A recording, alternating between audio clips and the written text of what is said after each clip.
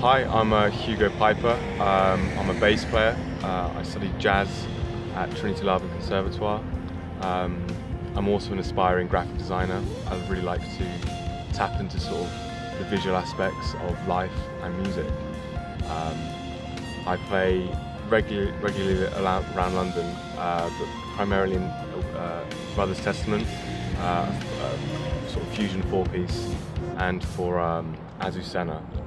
I'm really happy to be working with GW Jazz on the new clothing line, We're Jazz, uh, as I really feel, as, as, well, as well as a lot of other people, that clothing is an amazing way to express ourselves and particularly uh, the world of jazz and music that's currently going on uh, in London and around the world.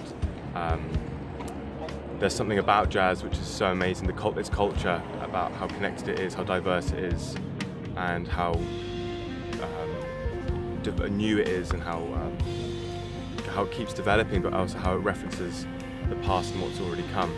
And so, I believe that we're, uh, we're jazz, the, the clothing line, as well as GW Jazz, really work on connecting that together um, and presenting that and allowing people to engage with that as well. So I've come from a family of, um, of artists. My father is a graphic designer and my mother is a, a fine artist. So I feel like from a very young age I've always received things and understood things from a much more visual perspective.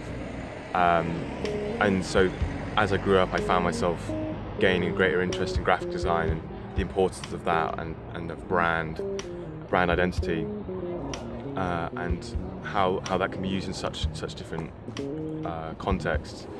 Um, I feel like that that understanding of, of art through a visual perspective is, is what's helped me in my music as well. Um, to sort of hear things and think of that as, as a colour, as a shape.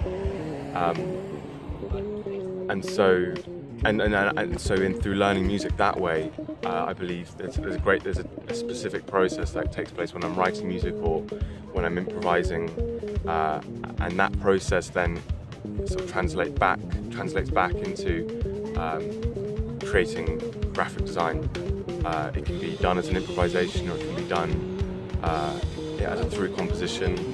Um, in, in, many different ways, similar to how, how, how we think about and and process music.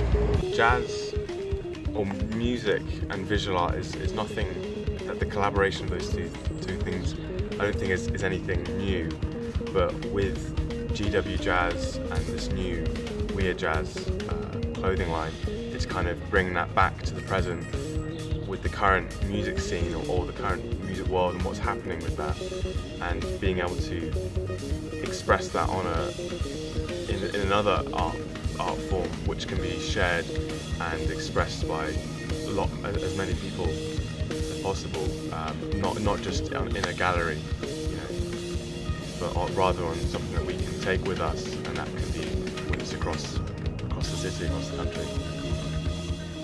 I I look forward to being able to like to continue and to fill this collaboration with GW Jazz, um, and I'm sure it will, it will turn out to be an absolute success uh, and that people will be able to come come to it and come from it with a greater understanding of what's happening in the current uh, music and jazz scene uh, through a great visual medium.